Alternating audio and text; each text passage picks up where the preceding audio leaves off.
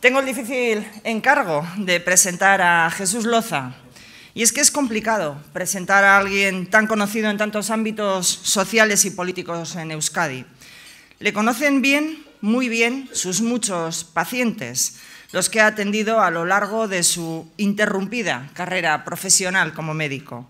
Y le conocen bien en la gestión de algo tan delicado para los derechos de la ciudadanía como es un hospital, el de Chagorrichu, en este caso, justo en el momento en el que se aprobó la ley YUC, la que garantizó la sanidad universal. Y en el momento en el que se comenzó la transferencia de este área a Euskadi, cuando los vascos decidimos hacernos responsables de organizar un sistema público de sanidad innovador y garantista. Le conocen muy bien también los vecinos y vecinas de Vitoria y los de Álava, a quienes dedicó una década larga del mucho tiempo que ha destinado al servicio público desde las instituciones. Le conocen muy bien los colectivos que atienden a quienes tienen más dificultades en la vida por todo el tiempo que ha empleado a las áreas de los servicios sociales en el ámbito municipal y foral, pero también desde el Gobierno vasco. Le conocen mucho y para bien quienes han sufrido la vulneración de su derecho más elemental, el de la vida, el de la integridad física, las víctimas del terrorismo en quienes ha volcado su compromiso profundo con la memoria, la dignidad, la reparación y la pluralidad. Un compromiso que le llevó a ser el primer comisionado, el de más alto rango, para organizar el tiempo en el que, derrotado el terror, ganáramos la convivencia. Y le conocemos muy bien en el Parlamento vasco, no ya en el Grupo Socialista, le conocen todos los demás partidos que han tenido oportunidad de compartir ese espacio para el debate y el acuerdo durante otra década larga de su vida que le dedicó a la Cámara Vasca, porque todos los demás partidos han sabido de su capacidad de abrir espacios de encuentro en cada materia que se tratara. Por eso, cuando el pasado 1 de junio se abrió en España también el tiempo del diálogo y el acuerdo, le propuse al presidente Pedro Sánchez que en la delegación del Gobierno necesitábamos conocimiento de la Administración en todos sus niveles, Compromiso con el desarrollo de nuestro autogobierno, complicidad con las víctimas del terrorismo y cintura política para conciliar posiciones diversas que son propias de una sociedad plural como la sociedad vasca. En definitiva, que le dije que necesitábamos a Jesús Loza, porque todavía hay quien no se ha dado cuenta del momento en el que estamos viviendo en Euskadi, en España y en Europa. Hay quien está empeñado en que el ruido enfangue el debate político. Son quienes no quieren entender que en todos los ámbitos en los que nos movemos, en todos los niveles institucionales donde se toman medidas que afectan a la vida diaria de la gente, van a hacer falta pactos de amplio espectro, pactos de fondo para blindar el sistema de bienestar que cohesiona a una sociedad y que propicia la estabilidad que requiere todo progreso económico. Pactos para afrontar el reto demográfico, el envejecimiento de la población, la necesidad de mano de obra formada y adaptada a los nuevos empleos, la necesidad de abordar los movimientos migratorios como elemento provechoso para quienes vienen a buscarse una vida más próspera y para quienes buscan nuevos perfiles para sus empresas. Pactos para hacer frente a los retos tecnológicos, a la actualización permanente de nuestras industrias, de nuestros empleos, en definitiva, pactos para conciliar intereses y derechos, para convivir en una Euskadi, una España y una Europa mestizas y diversas que exigen más colaboración y menos barreras. Una sociedad en la que no se expidan carnés de vasquidad ni de sentimientos, porque les confieso que me preocupa extraordinariamente haber escuchado hace solo unos días que una propuesta de dos centenares de personas de este país, abogando por un modelo determinado de convivencia a través de una reforma de la Constitución se haya descalificado como una opción que los españoles federalistas hacen para el País Vasco. Decir esto no es más que establecer categorías entre los ciudadanos, es definir quién es vasco o no en función de la adhesión a las tesis nacionalistas. Y es inaceptable, pero como decía, es sobre todo tremendamente preocupante.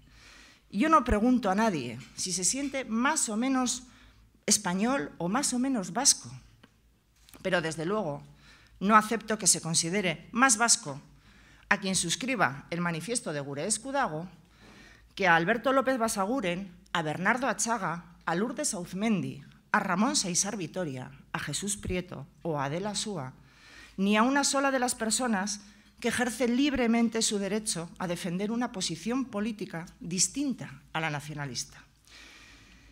Y eso, lo que se prevé en las bases de la reforma estatutaria suscrita por PNV y H. Bildu, cuando señalan que habrá una ley que distinguirá a ciudadanos y nacionales. Con expresiones de este tipo entendemos que pretenden lo que intuíamos, y ese es el camino que los socialistas no queremos recorrer en Euskadi. Es el que no creemos que quiera recorrer una sociedad que se ha ganado a pulso el derecho a la convivencia, a la diversidad, a la pluralidad, al diálogo y al acuerdo entre diferentes, como mejor apuesta para el progreso conjunto y el bienestar social. Akordioak behar ditugu, maila guztietan, esparru desberdinetan, gure ongizate sistema defendatzeko akordioak, eskubide sozialak bermatzeko akordioak, ekonomia sustatzeko akordioak, Akordioak behar ditugu azken batean, herritar desberdinen interes eta eskubideak bat egiten dezaten. Euskadi, Espainia eta plural eta Europa plural eta anitz hauetan denon artean elkar bizi ahal izateko. Hauze da, sozialistak dugun helburua eta hauze instituzio desberdinetan aurrera eramaten ari garen politika. Por eso mismo, por todo esto, es por lo que yo propuse que Loza fuera el delegado del Gobierno de España en Euskadi. Y por eso me la aceptó también el presidente Pedro Sánchez, porque se alineaba perfectamente con el proyecto que tiene para su mandato y con la idea que el socialismo tiene para la ciudadanía vasca, pero también para el resto de España. Entablar un diálogo permanente con todos los agentes sociales y económicos y con todos los territorios del país, para recuperar derechos, para blindar los servicios públicos y también para gestionar la pluralidad en un proyecto compartido de convivencia el proyecto y la apuesta de la que les viene a hablar esta mañana Jesús Loza. Y con él les dejo. Muchísimas gracias.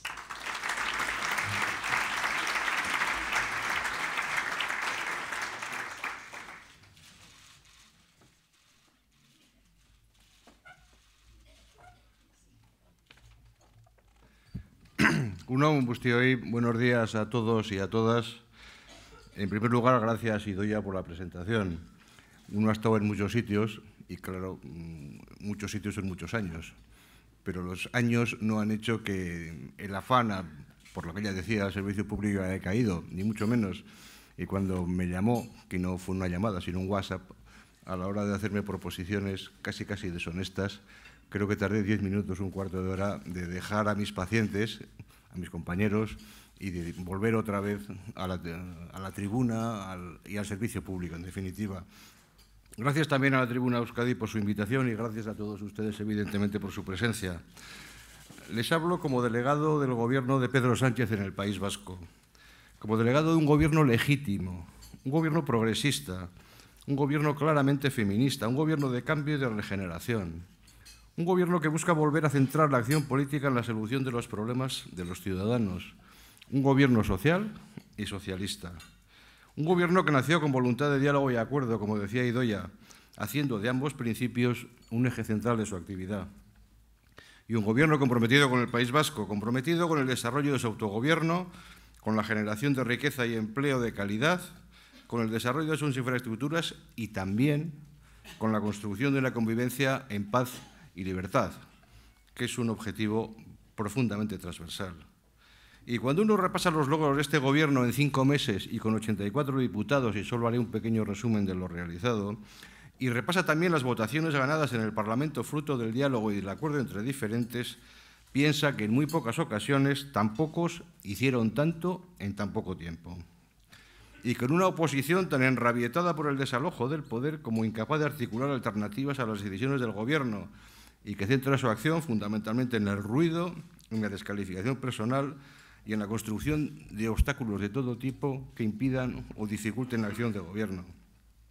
Han pasado de la parálisis legislativa, cuando estaban en el Gobierno y torpedeaban las iniciativas legislativas de la oposición con prórrogas indefinidas del periodo de enmiendas, a poner toda clase de obstáculos para la acción de Gobierno ahora que están en la oposición. Recordar brevemente que en estos cinco meses hemos recuperado la universalidad de la sanidad pública, Hemos convocado la mayor oferta de empleo público de los últimos diez años. Hemos creado la figura del alto comisionado para erradicar la pobreza infantil, quien ha llevado a cabo este verano un programa para dar dos comidas al día a 60.000 niños. Hemos afrontado la llegada de más de 40.000 inmigrantes a las costas de Andalucía, son en este momento 48.000, asegurando un trato digno a todos ellos. Hemos incrementado las pensiones de viudedad. Hemos puesto en marcha el Plan Director 2018-2020 por un trabajo digno, cuyas primeras datos presentamos con la consejera San José la semana pasada.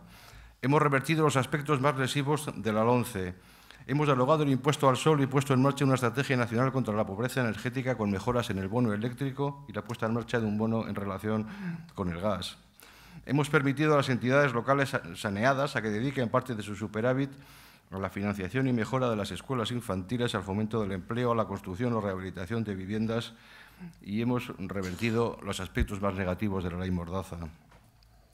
Medidas que han sido positivas para el conjunto de los españoles, pero también para los vascos y para las vascas, que han contado, y lo digo sin ningún tipo de retintín, con el apoyo del Partido Nacionalista Vasco, que agradezco, y algunas de ellas gestionadas en coordinación con las autoridades vascas de autogobierno, como he dicho, en relación al Plan Director de Empleo Digno.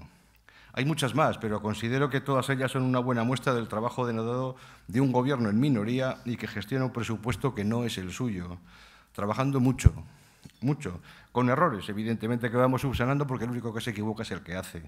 Y todo ello, como decía, con una oposición dedicada al insulto, a la descalificación y al ataque personal. Lo que uno intuye, si ustedes me permiten, detrás de tanto ruido, lo que hay es un temor en esos grupos que podía expresarse de la siguiente forma. Si estos socialistas han sido capaces de hacer todo esto en cinco meses, en minoría y con nuestro presupuesto, que no serán capaces de llevar a cabo con un presupuesto propio y con unos objetivos de déficit permitidos por Bruselas que supondrían contar con 6.000 millones de euros más en el presupuesto. Pues tenemos que embarrar el campo, es decir, ruido y descalificaciones, y disminuir, si ustedes me permiten, el tamaño de la portería. Ni hablar de los 6.000 millones de euros más, no vaya a ser que nos cuelen un montón de goles. No estoy hablando ni del Alavés ni del Atleti. Pierdan ustedes cuidado, que uno es prudente y además es a la vez, aunque estemos los segundos, no tiene nada que ver. En fin, y el colmo de la preocupación, como decía, llega tras el acuerdo presupuestario con Unidos Podemos, que sienta las bases de un cambio profundo en las prioridades de gasto público, como decía Idoya Mendía.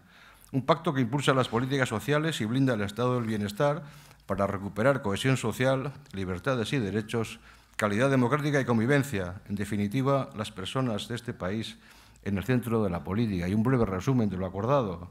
Subida de pensiones mínimas y no contributivas al 3%, supresión del copago farmacéutico, universalidad de las escuelas infantiles, pago de las cuotas de la seguridad social a los cuidadores, ingreso mínimo vital para combatir la pobreza infantil, permiso de paternidad que pasa de 5 a 8 semanas, reforma del Código Penal para brindar el solo sí es sí, subida del salario mínimo a 900 euros y recuperación del subsidio para parados mayores de 52 años en cuanto al gasto. Y en cuanto al ingreso hay cambios en la fiscalidad, pues se incrementa la contribución de los que más tienen, las grandes fortunas, los grupos empresariales y perceptores de rentas altas, eleva la progresividad del sistema, reduce impuestos en las pequeñas empresas y grava a nuevos sectores de actividad en línea con las recomendaciones comunitarias. Y todas ellas, todas, repercutirán favorablemente en el aumento de la calidad de vida de los vascos y las vascas, y muchas de ellas serán gestionadas desde la delegación con escrupuloso respeto a nuestro marco competencial cuando los presupuestos se aprueben. Un breve repaso a la segunda de las obligaciones de la delegación, que es la cooperación con las instituciones vascas de autogobierno y singularmente con el gobierno vasco, pero no solo con él, también con diputaciones, ayuntamientos y con interlocutores sociales.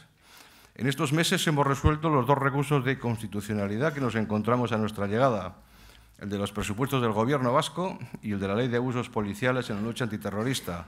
Más sencillo el primero y necesitado el segundo de una modificación de la ley que pactamos, que actualmente está pendiente de aprobación en el Parlamento vasco y que permitió la retirada por parte del Gobierno de Pedro Sánchez del recurso de inconstitucionalidad. Las modificaciones introducidas garantizan que la Comisión de Valoración no será un nuevo órgano jurisdiccional y asegura el respeto a los derechos al honor, a la presunción de inocencia y a la protección de datos. Reafirmar nuevamente que la aprobación de dicha ley no supone avalar en absoluto la teoría del conflicto. Me han oído en muchas ocasiones afirmar que a las víctimas, a todas las víctimas, les une el daño injusto recibido, que todas tienen derecho al reconocimiento y a la reparación y que lo que las diferencia es la causa de la victimación. Se establece así una diferencia nítida, clara, neta entre las víctimas de ETA y las de los contraterrorismos ilícitos, y es su significado político, recogido precisamente en el artículo 8 de la Ley 4-2008 de reconocimiento y reparación a las víctimas del terrorismo del Parlamento Vasco. Y no se refiere a eh, este significado político a, lo que las víctimas pensaran antes de ser asesinadas o, atentadas, en absoluto. Lo que se refiere es al proyecto político que pensaban imponer los asesinos, un proyecto político totalitario y excluyente, como dice también de forma nítida en varios de los artículos en la exposición de motivos dicha ley. Ya dije en mi toma de posesión que la actuación de la delegación del Gobierno en el tema de las transferencias pendientes sería subsidiaria a la acción de ambos gobiernos. Decir que tuvimos en julio ya una reunión de la comisión mixta que permitió desbloquear la retirada del recurso de inconstitucionalidad a la ley de abusos policiales y que próximamente habrá una comisión mixta a la hora de poner en, hacer realidad las primeras transferencias a la comunidad autónoma del País Vasco después de seis años. Quiero destacar la colaboración que mantenemos en el abordaje conjunto de la acogida de inmigrantes en tránsito a través de nuestra participación en la Comisión Interinstitucional. El Gobierno de España ofertó a las instituciones vascas varios locales para su uso eh, en este verano y, como todos ustedes saben, se hace cargo de los costos de la Cruz Roja en la atención a dichas personas. Comentaba la colaboración con el Departamento de Trabajo en la puesta en marcha del Plan Director para un Empleo Digno, y estamos ultimando con el Departamento de Empleo un acuerdo de colaboración entre el Servicio Público de Empleo y la ANVIDE. Por otro lado, siguen funcionando sin incidentes las comisiones de coordinación en materia de seguridad y la voluntad del ministro del Interior es celebrar una junta de seguridad próximamente aún sin fecha. Termino este apartado hablando de la solidaridad del conjunto de España con el País Vasco y me parece muy importante señalarlo y subrayarlo. Las instituciones españolas han sido claves para la solución de problemas graves que nos han afectado a los vascos y para inversiones de futuro. Me refiero en este apartado a la mayor inversión de la historia de Euskadi, el tren de alta velocidad, financiado por el Gobierno de España con ayuda de fondos europeos. Y citaré dos de los problemas a los que antes aludía. Uno en el ámbito socioeconómico con ocasión de la reconversión industrial de los años 80, que parece que se nos ha olvidado. El conjunto de los ciudadanos españoles y sus instituciones destinó miles de millones de las antiguas pesetas a combatir sus efectos. Y el segundo, en la lucha contra el terrorismo. Y puedo afirmar que sin la decidida actuación del Gobierno de España no hubiésemos derrotado a ETA. Durante muchos años se discutió si para lograr su desaparición eran necesarias medidas policiales o medidas políticas en forma de cesiones a la banda. La experiencia nos ha demostrado que eran necesarias medidas policiales y también políticas, pero no en el sentido anterior, el de las cesiones, sino a través de la ley de partidos y la legalización de Batasuna, combinando firmeza e inteligencia. Firmeza e inteligencia resumidas en la frase de Alfredo Pérez de Rubalcaba, o bombas o votos. Gracias a la acción policial y judicial, a la colaboración internacional, al hastío de la sociedad vasca y a la resistencia de los amenazados, conseguimos derrotar a ETA. Dos palabras, permítame, para denunciar el olvido tan clamoroso como injusto de este colectivo plural, los resistentes políticos, jueces, periodistas, empresarios, cuerpos y fuerzas de seguridad del Estado y erchainas, entre otros, que no cedieron o no cedimos al chantaje del terror y que, como dice acertadamente José María Calleja, colocaron o colocamos la dignidad dos peldaños por encima del miedo. Considero imprescindible una normativa de reconocimiento a los resistentes, así como la celebración de un gran acto público de homenaje a su valor y a su sacrificio. Estamos trabajando en ello. Tras la disolución definitiva de ETA en mayo, en mayo pasado, nos toca ahora afrontar la construcción de una convivencia en paz y libertad, un reto, como decía, transversal. Una convivencia cimentada tanto en el respeto escrupuloso de los derechos humanos, todos individuales, como en los principios y valores del Estado de Derecho, esenciales para la construcción de la convivencia entre diferentes. Varios son los asuntos que tenemos que abordar en este periodo poseta. A mi juicio, el primero y primordial, la clave de bóveda, es el abordaje de la deslegitimación del terrorismo de ETA y por todos. Y observamos cómo todos los grupos políticos condenan y condenamos sin ambajes los contraterrorismos ilícitos, Batallón Vasco Español, GAL, los abusos policiales. Pero hay un grupo político, Sortu, que no deslegitima el terrorismo de ETA, sí acepta proclamar la legitimidad del uso de la violencia para conseguir objetivos políticos en el futuro, pero rehuye realizar la misma afirmación en el pasado, dando a entender que la acción de ETA, la que apoyaron, era legítima. Y eso es sencillamente inadmisible. Estoy convencido de que el conjunto de los grupos políticos vascos trabajan para conseguir ese objetivo y me llena de satisfacción. Permítame un par de reflexiones, más desde la experiencia que decía anteriormente Idoia de mi larga trayectoria en estas cuestiones, que, más desde el punto de vista institucional. La primera reflexión hace referencia a que la responsabilidad de realizar esa declaración, esa deslegitimación del terrorismo por parte de Sortu, es exclusivamente de ellas, les corresponde a ellos. La segunda, al hilo de la primera, es que podemos y debemos ayudarles en ese camino. Tenemos que ser proactivos, pero tenemos que ser proactivos no de cualquier manera. Y creo que hay dos principios que debieran, debieran dirigir esos esfuerzos en estos momentos. El principio de claridad y el de respeto que, unidos a la firmeza en defensa de principios y valores éticos y democráticos y a la inteligencia en la articulación de dichos de, concreta de esos derechos, puede ser un elemento muy importante de futuro. Creo que tenemos que huir tanto de la cesión en los principios como de la humillación en la aceptación de dichos principios por la otra parte. Claridad y respeto. Por otro lado, hay que tener presente lo que nos dice la experiencia, que ese mundo confunde acercamientos, si me permiten ustedes, buenismo con la mejor intención con debilidad y que respeta a quien se hace respetar. Una última reflexión sobre este asunto. Las acciones concretas que haya que llevar a cabo para conseguir el objetivo de la deslegitimación de ETA hay que recorrerlas desde el consenso más amplio posible. Si fuimos capaces de acordar la Ley 4-2008 en el Parlamento Vasco, la Ley 29-2011 en las Cortes Generales, si fuimos capaces de acordar la primera proposición no de ley sobre abusos policiales y también el decreto de 2012 liderado precisamente por Idoia Mendía. Si fuimos capaces de acordar el denominado suelo ético en el Parlamento vasco, debiéramos de imponernos la obligación de que ese sea el espíritu que nos lleve a conseguir la deslegitimación del terrorismo de ETA por todos. Y para ello, y termino este apartado, las prisas son siempre malas consejeras.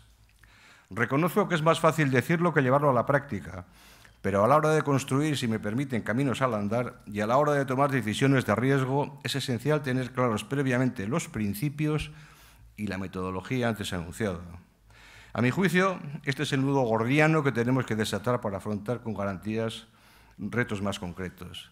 El reto de la deslegitimación por todos de la actividad de ETA, no solo hacia, en, en el futuro, sino también y fundamentalmente en este caso en el pasado, que es la única asignatura que tenemos, la asignatura fundamental que decía que tenemos pendiente. Pues bien, pues este nudo gordiano eh, influye en dos de las cuestiones que voy a tratar de desarrollar a continuación, que son la memoria y la política penitenciaria. El objetivo central de la memoria es la no repetición de lo sucedido.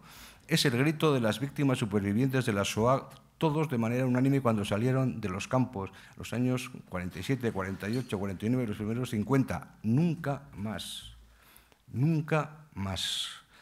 Compromiso de no repetición, elemento clave de la memoria, y junto a él, evidentemente, el de la deslegitimación del terrorismo de ETA, que es, como decía, una asignatura pendiente.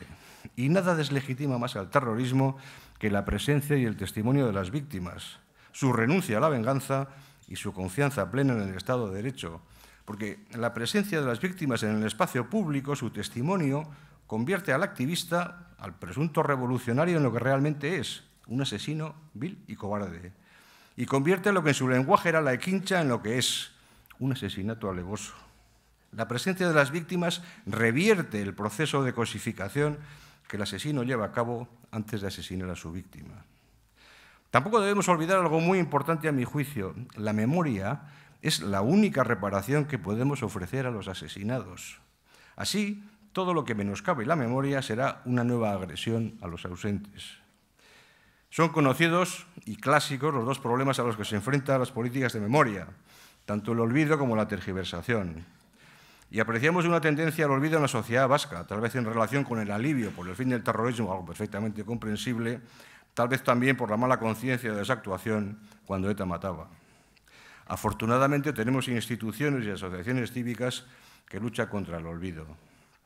La tergiversación es un fenómeno más complejo, porque abarca tanto desde el negacionismo al que asistimos en relación con el, holocausto, por ejemplo, como la justificación de lo sucedido y está en diferentes grados. Me explico. Utilizando términos jurídicos, existe un tipo de justificación que considera que existieron factores eximentes de responsabilidad, el famoso conflicto que justificaría el asesinato del diferente. La tesis es la tesis actual de Sortu y como ejemplo la afirmación del carnicerito de Mondragón, yo no asesiné a personas, yo maté a enemigos afirmar que en cualquier sociedad existen multitud de conflictos y que los conflictos en democracia se solventan a través del diálogo y el acuerdo y cuando este no es posible ante los tribunales de justicia, jamás con un tiro en la nuca. Tenemos que proclamar que la decisión de matar fue una decisión libre y voluntaria. Repito y reitero, libre y voluntaria de los que lo hicieron, que muchísimos otros, la inmensa mayoría, estamos en circunstancias similares, no solo no lo hicimos, sino que nos opusimos precisamente a que eso fuera así. Y como ven, este punto forma parte del nudo gordiano a deshacer. Y junto a esta justificación absoluta, con absolución urbi et orbe, ligada al conflicto, existe otra que une la existencia de un conflicto sin justificar en absoluto el recurso a la violencia y, por tanto, rechazándola, a una serie de factores que pudiéramos considerar como atenuantes del horror, como, el contexto, el franquismo, la represión, el GAL, la crisis económica, el tráfico de drogas, etcétera, etcétera, etcétera. Es lo que Martín Alonso llama la tercera vía y que supone una contextualización que buscaría diluir las responsabilidades de los perpetradores a la vez que niega la mayor y con rotundidad. Lo que hicieron estuvo mal, estuvo muy mal, pero fíjate en qué circunstancias lo hicieron, todas estas que acabo de comentar. En este mismo apartado se incluiría tanto la pretensión de considerar a ETA una organización antifranquista, brillantemente rebatida por José María Ruiz Soroa en un artículo reciente, como la existencia de una ETA buena y una ETA mala. Nos decía Mario Naindía, nos equivocamos desde el minuto uno. Ya indiqué anteriormente que la memoria tiene que ser inclusiva, por supuesto, por supuesto, pero sin mezclar lo que es diferente y sin equidistancias, y la diferencia tiene que ser nítida y la constituye, como decía, el significado político de las víctimas, artículo 8 de la Ley 4-2008. Estoy convencido de que los promotores de cualquiera de las justificaciones no admitirían, y con toda la razón, que alguien afirmara que la existencia de los contraterrorismos ilícitos, al incluido, tuviera justificación por la presión de ETA. Nadie lo admitiría. Nadie. En su contrario, tampoco lo, tampoco en relación al terrorismo de ETA. Considero que tanto el olvido como cualquier otro tipo de justificación o contextualización del terror van en contra del objetivo central de las políticas de memoria que decía al comienzo, es decir, la no repetición. Ni el olvido ni cualquier tipo de justificación o contextualización van a favor de asegurarla, sino, a mi juicio, todo lo contrario. Evidentemente, como decía, van en contra, pero en diferente medida de la deslegitimación del terrorismo y reflexionen también quien las promueva si son o no una nueva vejación a los ausentes, como antes decía. Una breve reflexión sobre la tercera vía. Quiero creer, y lo digo sinceramente, que sus mentores pudieran con buena voluntad tratar de ofrecer a Sortu una pista de aterrizaje. Con todo lo anteriormente expuesto y los principios de claridad y respeto, creo también sinceramente que se equivocarían porque la izquierda Berchale, permíteme la expresión del aterrizaje, mm, viene volando en un avión en dirección norte-sur y la pista de aterrizaje está en dirección este-oeste.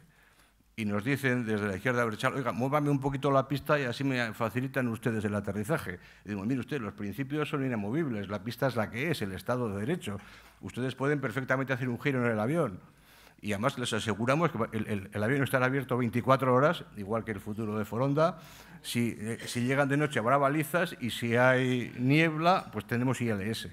pero la responsabilidad del giro no es de la pista de aterrizaje del Estado de Derecho, que tiene unos principios muy claros y muy bien establecidos, sino de los que no los cumplen y tengan que hacer un viraje. La responsabilidad, como digo, será fundamentalmente suya, es fundamentalmente suya, aunque también digo que podemos en ese camino ayudarles y ser proactivos. Otra cuestión relacionada es la de la política penitenciaria y la necesidad de la reorientación de la misma. No voy a cansarles con mi opinión, que habrán oído y leído en numerosas ocasiones acercamiento progresivo. Ayer hubo una buena noticia. Pasos a segundo grado, habrá buenas noticias, tratamiento humanitario de los penados y reinserción como elemento central de la política penitenciaria. Lo conocen ustedes perfectamente. Sí, añadir dos reflexiones a todo esto.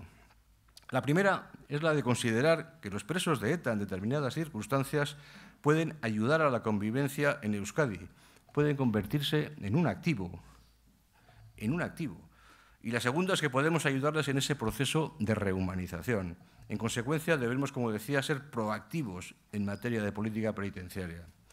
El profesor Manuel Reyes Mate dice que cuando el terrorista asesina a una persona no solo produce la muerte física de la víctima, sino también acaece en este hecho la muerte hermenéutica del asesino, y que la forma de rehumanización es la de la autocrítica sincera de ese acto. Y eso se pudo comprobar en la vía Anclares en la que el profesor participó. Y un terrorista que sale de prisión rehumanizado es extraordinariamente útil en la construcción de la convivencia. Lo vimos la semana pasada en el seminario organizado por la Fundación Fernando Buesa, porque ¿quién puede deslegitimar más el uso de la violencia para conseguir objetivos políticos que un terrorista que hace autocrítica de su pasado? ¿Y qué mejor contribución a la convivencia que la presencia de un terrorista arrepentido junto a una víctima que acepta encontrarse con él? pues bien, fuimos testigos de ello la semana pasada de la inmensa generosidad de las víctimas, la inmensa generosidad de las víctimas que también hemos visto en los últimos meses a la hora de aceptar la reorientación de la política penitenciaria siempre dentro de la legalidad, inmensa, inmensa generosidad de las víctimas eh, en el camino de la rehumanización. pero las víctimas también lo que esperan y necesitan es una actitud de empatía por parte, por ejemplo, de los familiares de los presos. Podría ser un buen paso a la hora como siempre, y volver al encuentro. Otra cuestión en cuanto al nudo gordiano que comentaba anteriormente. La izquierda Berchale debiera de saber que sus presos esperan una autocrítica de los responsables políticos de su situación para iniciar el camino de la reinserción. Y ese esa también es una responsabilidad de la izquierda Berchale, que ayudaría muchísimo a la situación de sus presos. Termino, queridos amigos, con una reflexión sobre la convivencia. Lo comentaba antes perfectamente Idoia Mendía.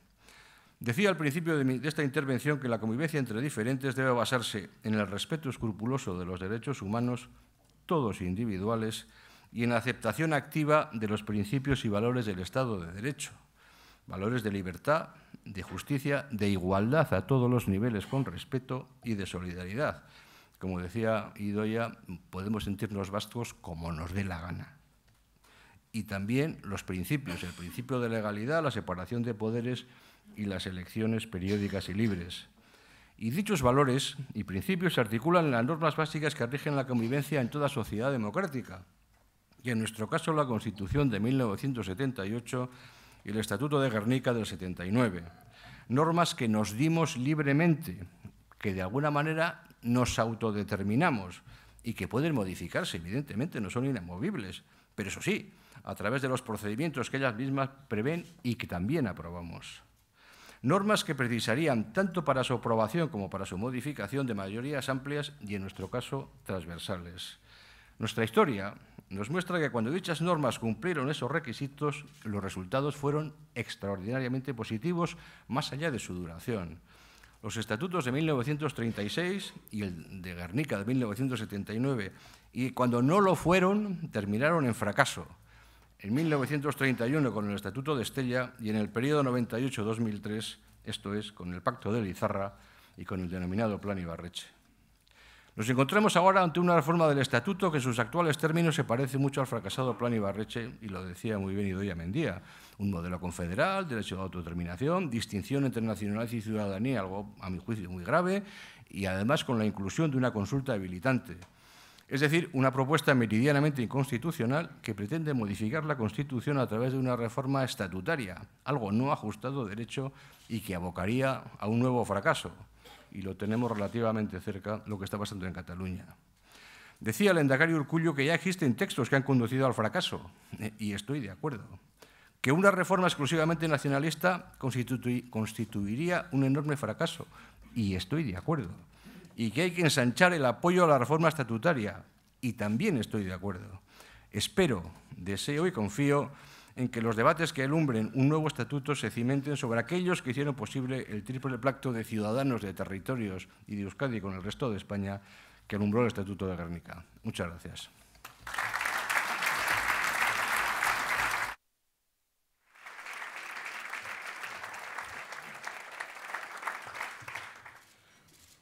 Muchas gracias, señora Mendiga, por la presentación. Muchas gracias, delegado del Gobierno, por su intervención. Hay muchas preguntas sobre Erenugen. Se, las voy a, las voy a leer, si no todas, casi todas.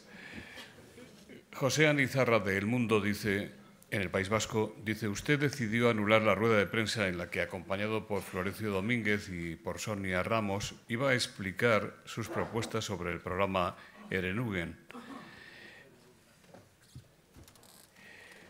No voy a intentar repetirlo por si acaso lo digo otra vez mal. ¿Ha exigido a Juan Fernández la retirada de ese material y su sustitución, por ejemplo, por el elaborado por el Centro de Memorial de Víctimas, considera que los cinco vídeos readaptados de una serie de ETV son un material didáctico adecuado para que los jóvenes vascos conozcan la historia de ETA. Son Julen Madariaga y un escargo político del PNV las voces más autorizadas para explicar el surgimiento de una banda terrorista.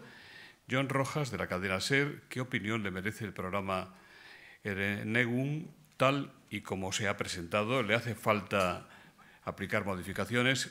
Eva Donaina, de la cadena SER también, le pregunta si ha presentado la delegación de gobierno alegaciones al programa educativo y en qué sentido. Y desde el Independiente eh, le preguntan qué sobra y qué echa en falta en la unidad didáctica. Pues menos mal que suspendimos la rueda de prensa. Menos mal. No, no, en fin, sin, vamos, contesto sin ningún tipo de problema. Vamos a ver, decía y reitero que en todas estas cuestiones en relación con la memoria tenemos que buscar el máximo consenso. y, pensamos, y de alguna manera, si ustedes me permiten, yo rectifiqué, no tengo ningún problema en decirlo, que no tenemos que mm, articular aquella famosa frase que el medio, que el medio no se convierta en el mensaje. Y en muchas ocasiones, a veces, la rueda de prensa, que si hay, que si no hay, que si deja de haber, es más importante que los contenidos. Y en este sentido, mm, decir que el objetivo de esta delegación del Gobierno, les decía también antes, porque puede haber incluso un conflicto de competencias. Ay, pues no, usted es un programa de historia, es un currículum de historia, esto corresponde al gobierno vasco. Es un, evidentemente, está ahí situado en una cuestión de historia, pero me permitirán ustedes que pueda decir que si fuera solo historia, la historia la hacen los historiadores. Y hemos visto que este material existe un historiador de reconocidísimo prestigio, como Juan Pablo Fusi, y personas que merecen todo mi respeto, pero que una es filóloga y el otro es periodista. Luego, no estamos hablando únicamente de historia, y me parece normal, estamos hablando básicamente de memoria. La memoria, a mi juicio, lo decía, es un elemento transversal en la que todos tenemos obligaciones, todos tenemos responsabilidades por encima de las competencias. Esta es una primera reflexión. Una segunda reflexión es que nosotros vimos la presentación, yo tuve que hacer una intervención ese mismo día, el día posterior a la presentación en Sansomendi, y evidentemente la afirmación que dice que los asesinatos de ETA son injustificables a partir de 1975 no la podemos admitir. O sea, no podemos admitir que el asesinato de José Antonio Pardines o el de Monasterio el taxista fueran, fueran, tuvieran algún tipo de justificación. Esa es la única valoración que ha hecho este delegado del Gobierno hasta ahora y que evidentemente me reafirmo dentro del espíritu de esa ETA buena o ETA mala Parece ser como si ETA durante el franquismo, que no fue una organización antifranquista, fuera buena y después fuera mala. No, no, no. Decía Mariana India, lo reitero, nos equivocamos desde el principio. Lo que observamos desde la delegación es que había un profundo disenso entre estas cuestiones, que nos, a mí me, me preocupaba y me preocupa. Disenso no solo político, que también, sino también con un rechazo prácticamente absoluto de los colectivos de víctimas. Digo prácticamente porque ha habido en este, estos días un movimiento desconozco cuáles son sus raíces a la hora de que haya unas víctimas, a las que también respeto profundamente, que les parece este material que es adecuado. Respeto a una y respeto a otras, pero constato el disenso. Y lo que la delegación pretendía, pretendió y sigue pretendiendo es eh, ayudar, es exponer nuestra experiencia que ha sido positiva en la realización de unidades didácticas en el resto de España. Es que, por una vez, por una vez, el Gobierno de España ha tomado la iniciativa antes que el Gobierno vasco. Es decir, las unidades didácticas empezaron hace ya cerca de año y medio, dos años, a ponerse en marcha con una metodología que ha suscitado el consenso general de todas las comunidades autónomas. Haré luego una consideración. Es decir, una metodología en la que primero se llamó historiadores, no a nadie más, a historiadores, y además a historiadores vascos. por cierto, uno no, ¿dónde están la Universidad del País Vasco y los historiadores contemporáneos, que son personas de reconocido prestigio nacional e internacional de historia contemporánea? En fin, se llamó a los historiadores, hicieron una primera aportación, se llamó a colectivos, asociaciones y fundaciones de víctimas a una reunión, se buscó la participación de las víctimas, que, como decía, es fundamental para dar legitimación, y posteriormente los técnicos del Ministerio de Educación cerraron el material desde un punto de vista eh, pedagógico. Las unidades se pusieron en marcha, están actualmente en marcha en cuatro comunidades autónomas. Este año, este próximo curso, se unen tres comunidades autónomas más y no ha habido ningún tipo de disenso eh, a este nivel. Con lo cual, digamos, la oferta de esa metodología yo creo que es positiva, con un añadido, y es que a las unidades didácticas se les unió la presencia de las víctimas en las aulas, que esta sí que es una iniciativa del gobierno vasco. Cuando Pachi López era lendakari, y Isabel Celá, actual ministra de Educación, era la consejera de Educación. Se unen las dos cosas, la unidad didáctica y la presencia de las víctimas, que yo creo que son perfectamente complementarias. Es decir, la aportación va más en el sentido del consenso y, en el sentido de ofertar una experiencia que ha resultado positiva desde todos los puntos de vista y tiene una pega esa experiencia, que una de las fundaciones que estuvo en la reunión de todo el material la expuso con claridad. Y es que es muy, muy, muy, muy importante, perdón por los muchos muy, es contar con el gobierno vasco y eso no se hizo. Y es un error. Cuando yo llegué a la delegación, creo que la segunda o tercera decisión que tomé, después de haber hablado con Jonan Fernández, era la de enviarles todo el material y poner a disposición toda nuestra experiencia para que pudiera servir. Porque fue un error, y lo digo sin ningún tipo de retintín, y los errores hay que reconocerlos y repararlos también como otras cuestiones, el no haber contado con el gobierno vasco a la hora de poner en marcha estas unidades didácticas. Por cierto, que el gobierno de Navarra tiene, mm, tiene conversaciones establecidas con el memorial y con los historiadores a la hora de ver cómo se puede mm, crear un material en, en la comunidad autónoma de Navarra. Ya le digo, yo me quedaría básicamente con estas cuestiones. Nuestro objetivo es ayudar, nuestro objetivo es proponer, nuestro objetivo no es generar en absoluto ningún tipo de polémica.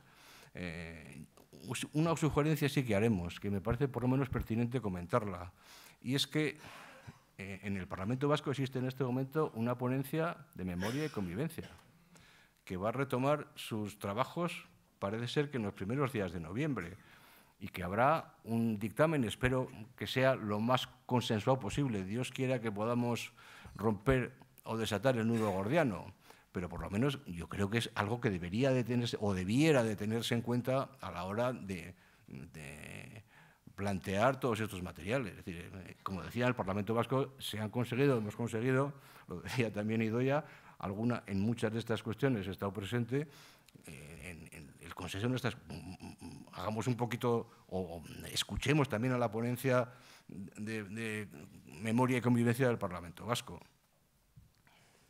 Pero ya les digo, el ánimo es buscar consensos, el ánimo es de ayudar en todo lo que podamos y en todo lo que se nos pida, eh, sin entrar en ningún tipo de, de, valoraciones. Yo he hecho una, he hecho una, como les decía, lo de la ETA buena y lo de la ETA mala, pero quizá también, por lo menos, como he hecho mucha referencia a los resistentes, también hay algún vacío en ese material que los resistentes tampoco aparecen.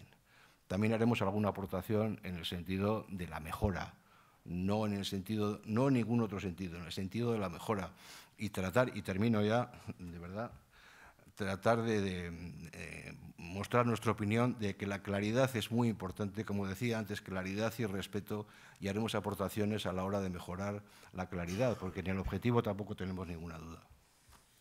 Luisa Mendía le pregunta precisamente en qué va a consistir el homenaje a los resistentes a la presión terrorista que usted ha anunciado en su intervención y al que se ha referido ahora. ¿Cuándo se va a celebrar? ¿Y qué formato tendría? Vamos a ver, estamos, he planteado una reflexión y una necesidad. Estamos hablando con el Ministerio del Interior, estamos viendo también desde el punto de vista jurídico qué cuestiones se pueden hacer. Yo no quiero dar fechas, Dios me libre porque esto las fechas las carga el diablo, pero sí que es importante primero poner de manifiesto la injusticia de la no, el no reconocimiento. Yo no hablo ya de reparación, ¿no? estamos hablando de cosas de cuestión, fundamentalmente el reconocimiento. El reconocimiento tiene que tener una base jurídica y después un acto.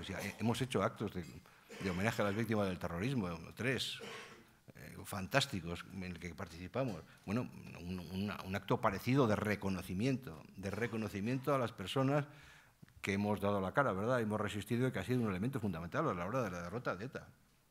Fundamental, a mi juicio.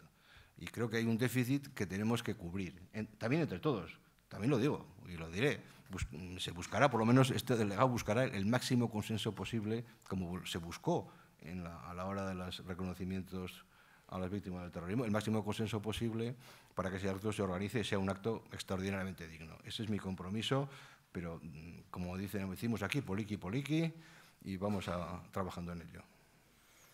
José Anizarra dice, varios miembros del Gobierno, incluido el presidente Pedro Sánchez, ya han dicho que la prioridad es asegurar la solvencia de la seguridad social y aún ni se han planteado la transferencia de la gestión del régimen general a Euskadi.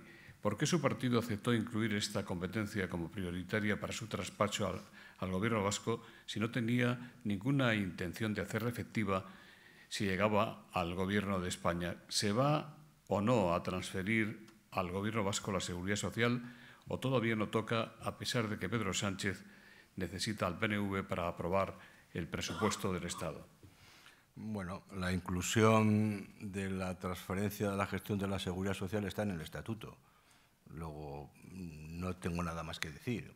Otra cosa es la prioridad, la dificultad que por todos es conocida y las declaraciones que yo no voy a hacer, que las, ha hecho el presidente del Gobierno y la ministra Batet en relación a esta cuestión, que creo que lo dejan meridianamente claro. Yo sí me gustaría subrayar una cuestión novedosa y creo que es importante y que es positiva. En, en, el informe Zubia, de cuando éramos jóvenes, o mucho más jóvenes que ahora, se decía que había que transferir la seguridad social y de alguna manera romper la caja única en este momento lo que se pide es la transferencia de la gestión de la seguridad social que está perfectamente recogida en el estatuto. Yo creo que es un objetivo que debemos de plantearnos que evidentemente tiene un montón de problemas mm, técnicos y también políticos que yo no voy a abordar porque, como digo, mm, esta delegación es subsidiaria, las conversaciones la llevan eh, el consejero que la ministra y, los presidentes y ahí lo dejo. Así que Quería decir una cosa que antes no se me ha olvidado con respecto a, las unidades didácticas. Y quiero expresar mi reconocimiento sincero a la actitud del, Endacari Urcullo a la hora de pedir aportaciones no solo asociativas o personales, sino institucionales. Quiero reconocerlo de manera explícita y, como digo, recogemos esa invitación en el sentido positivo de ayudar a, en la medida de, lo que, de nuestras capacidades y posibilidades a que estas unidades didácticas, que son muy importantes, como fue también muy importante la presencia de las víctimas en las aulas, puedan contar con el mayor consenso posible. Perdón por haberme ido a, a otra cuestión, pero me, parece que, me parecía que era importante, es un déficit que me apunto y trato de repararlo. ¿Ve usted posible a corto plazo la transferencia de la gestión de la seguridad social? Me parece muy complicado, pero ya no lo he dicho yo. ¿eh? yo es decir, eh, son declaraciones del presidente y de la ministra Batet. José Carlos de Julián de Onda Cero dice, en un plazo de dos semanas tienen inicialmente previsto reunirse la ministra Batet y el consejero del Correca, felizmente presente aquí, para desbloquear las transferencias pendientes. ¿Usted ve voluntad en el Gobierno central para acordar transferencias importantes, sobre todo teniendo en cuenta que algunas conllevan dificultades, como la de la gestión de la seguridad social? ¿Son más fáciles los traspasos de las líneas ferroviarias y de un tramo de la AP1? evidentemente son más fáciles. Eh, no, son más fáciles, sino que están ultimándose ya las últimas detalles a la hora de poder hacer efectiva la transferencia. Pero yo sí que recomendaría que nos leyésemos el listado de las 37 y viésemos cuáles son las más fáciles y las más difíciles. Y a mí la lógica me dice que empecemos por las más fáciles y, y vayamos el resto estableciendo ya grupos de trabajo. Es una posibilidad a la hora de ir avanzando. Pero hay transferencias que se pueden hacer, no solo estas, sino algunas otras, de manera relativamente sencilla. Supongo que eh, está aquí el consejero Ercoreca y la ministra Batet, pues lo lógico es que empecemos por lo más fácil y, y vayamos avanzando de manera progresiva. ¿Cabe la transferencia de la gestión de los puertos vascos, incluido el puerto de Bilbao? Bueno, en los puertos vascos creo que quedó también meridianamente clara cuál es la posición del Gobierno de España en el sentido de que para transferirlos hay que, tiene que dejar desde el puerto de interés general. Y lo que todo el sector nos dijo en una jornada aquí en Bilbao hace aproximadamente un mes es que sería una barbaridad. Y hablo con personas que conocen estas situaciones perfectamente. La voluntad del Gobierno es no, no convertirlos o, o no, que, que sigan siendo de interés general y evidentemente los puertos de interés general son competencia del Estado. Antonio Vázquez le pregunta qué va a hacer o qué está haciendo el Gobierno del Estado para evitar el cierre de la naval y si se está coordinando alguna iniciativa con el Gobierno vasco. El Gobierno central está trabajando con el Gobierno vasco desde hace tiempo. Eh, yo recibí al comité de empresa y estamos trabajando, no es ningún secreto, en dos líneas. Una primera, tratar de asegurar el, eh, que Vanor eh, termine la draga porque nos daría un tiempo a la hora de buscar un inversor que es el elemento fundamental. Estamos trabajando en esas dos líneas con absoluta coordinación entre la ministra de Industria y la consejera Arancha Tapia. No es fácil, también hay que decirlo también alto y claro, o repetirlo, que las ayudas a la hora de la eh, republificación no son posibles y que lo único que estamos haciendo lo decía el otro día el vicepresidente de la, del, del, Consejo Económico y Social en Bruselas. Decía, y lo que estamos haciendo es despertar a los, a los organismos comunitarios a la hora de que nos miren con lupa cualquier tipo de actuación que estemos haciendo. O sea, seamos un poquito prudentes. Como digo, se lleva trabajando tiempo ya en los dos gobiernos eh, en coordinación con ese objetivo de primero terminar la draga y después ya, o, o a la vez, ir buscando un inversor, pero que sea un inversor que tenga un plan industrial de futuro, que no venga aquí cualquier otra persona con otras intenciones. Dionisio González le dice, la consejera Arancha Davia ya ha cuantificado en un retraso de dos o tres meses el calendario sobre la Y vasca que se mantenía con el gobierno de Mariano Rajoy. Hoy, 31 de octubre, ¿usted puede garantizar que la Y entrará en funcionamiento en 2023? Pues hombre, no, tengo una bola de cristal, ¿qué quiere que le diga? Eh, garantías y fechas las carga al diablo. Hombre, si los retrasos fueran únicamente de dos o tres meses, yo creo que podríamos salir todos de aquí tirando cohetes. Yo únicamente decirle, como conozco un poquito más la realidad mmm, de Álava y de Vitoria, decir que algunos de los retrasos se producen porque hay cambios de proyecto. Eh, hay un proyecto de entrada del, del tren de alta velocidad en Vitoria en una determinada zona que se ha cambiado, lo cual es perfectamente legítimo, pero eso también supone un retraso y la petición no ha sido del Gobierno central, sino ha sido de las instituciones vascas. Recordar cómo alguna alcaldesa hace unos ciertos años se posicionaba claramente en contra de las expropiaciones, es decir, y eso también retrasa y que algunos acuerdos de gobierno eh, a principios de este siglo también supusieron un retraso importante en el desarrollo del tren de velocidad. Por encima de todas estas pequeñas cuestiones, la voluntad de ambos gobiernos, y yo agradezco al, al gobierno vasco su trabajo en la, en, la realización práctica del tramo en, Guipúzcoa, eh, eh, nuestro objetivo es que salga cuanto antes, tratar de desbrozar todo tipo de problemas que muchos son técnicos, y hay, pero la voluntad es esa. Hasta será el 2023 en principio pues parece razonable, pero yo fechas, si me, a mí me pregunta, están por encima de mis capacidades y responsabilidades. ¿Qué valoración hace usted de los resultados del informe Eustad que revela una desaceleración de la economía vasca con la peor tasa de crecimiento desde 2015? Un crecimiento del 2 2,8 para este año, un 2,3 para el próximo y un 2% para el año 2020. Y estas cifras contrastan con el hecho de que Euskadi es la segunda comunidad autónoma con mayor superávit hasta agosto, con un saldo positivo de 506 millones en sus cuentas públicas. Yo creo que se ha comentado ya, estamos en un proceso de desaceleración leve no solo en el País Vasco, sino en el conjunto de España. Y yo coincido con la apreciación que hace el consejero de Hacienda del Gobierno vasco. No nos pongamos nerviosos. Es decir, seguimos creciendo, no ha cambiado el ciclo, no ha cambiado el ciclo, estamos en un proceso exclusivamente de desaceleración. ¿Cuántas economías en muchos lugares quisieran crecer al 2,8, al 2,3 y al 2 en los próximos 2-3 años? Seamos prudentes y veamos la, la, botella medio llena y no medio vacía. Es decir, yo creo que en este sentido, el que desde las instituciones enviemos mensajes en positivo al, al mundo económico, yo creo que es, es, importante. Yo, como digo, coincido absolutamente con la reflexión que hacía Pedro Azpiazu. Mm, calma, calma. Si, si las instituciones vascas tienen, ha, ha habido un incremento de recaudación, será porque la economía va bien. Y eso es positivo, porque se puede redistribuir. Yo me mi reflexión es esa, tranquilidad, no vamos a crecer al 3,5%, ya nos, ya nos gustaría, pero en fin, estamos con una tasa de paro por debajo del 10%, yo creo para que todos nos sintamos medianamente satisfechos, aunque evidentemente la calidad del empleo deje muchísimo que desear y haya mucho que trabajar eh, en este sentido.